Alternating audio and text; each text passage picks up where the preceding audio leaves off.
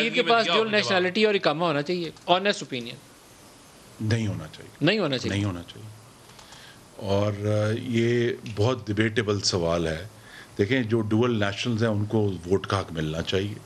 लेकिन जिसने पाकिस्तान की सर्विस में आना है बतौर वज़ीर बतौर किसी भी जो नीम सरकारी हैसियत है चाहे वो तर्जुमान है उसकी लॉयल्टी सिर्फ़ पाकिस्तान के आइन से होनी चाहिए और किसी चीज़ से नहीं।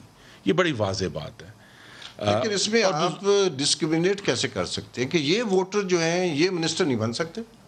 लेकिन मिनिस्टर के लिए चुनाव में वो वोटर ऑलरेडी अपने आप को डिस्क्रिमिनेट कर चुके हैं ना उन्होंने एक और मुल्क की नेशनलिटी ले दुनिया में कहीं नहीं है।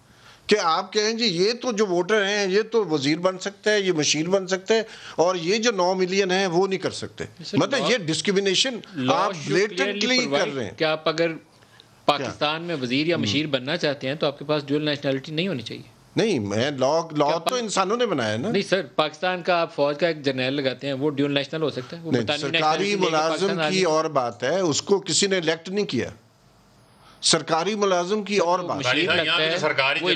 नहीं सरकार चला नहीं। बात यह है कि आप वोट का हक दे रहे हैं तो फिर डिस्क्रिमिनेट ना करें। उसका मतलब government you can't discriminate Pakistan देखिए बात इसीलिए बहुत सारे ममालिक ने डुअल नेशनैलिटी खत्म कर दी हुई है। या आप उस मुल्क के शहरी हैं या आप किसी और मुल्क के शहरी हैं आप उस मुल्क के ठीक है तो इसमें भी क्लैरिटी आनी चाहिए कि इस पर बैठ के इज्तमाही दानिश जो भी को आने वाली हुकूमतें होंगी पार्लियामान होंगी इस नालायक और नाहल हुकूमत के जाने के बाद वो शायद इस पर बात कर सकें।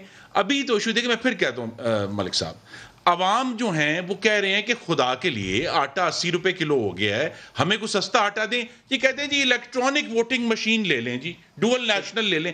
भाई जो खत्म जो, जो क्राइसिस क्राइसिस वैक्सीन नहीं है की जमहूरियत है। वो चोरी होती रहे। कर रहे हैं। मुल्क की जमहूरियत चोरी होती रहे। कहते हैं इलेक्ट्रॉनिक इस मुल्क की जमहूरियत चोरी होती रहे। अगर जमहूरियत मज़बूत होती तो मैं आज आपको लिख के देता हूँ कि नवाज़ शरीफ जैसा शख्स जो है वो तीन बार इस मुल्क का वज़ीर आज़म न बनता जिसने बेड़ा गर्क किया। वज़ीर आला जो जियाउल हक की गोद में आया है। इमरान खान की बाईस साल जदोजहद है। उसने इस मुल्क के लिए कुछ ना कुछ किया हुआ है। आपके तो पल्ले कुछ नहीं था। आप तो अपना नाम ठीक तरीके से नहीं लिख सकते थे। मेरे मुँह से सही सुनते हैं। इस मुल्क के निज़ाम को करप्ट आपने किया है।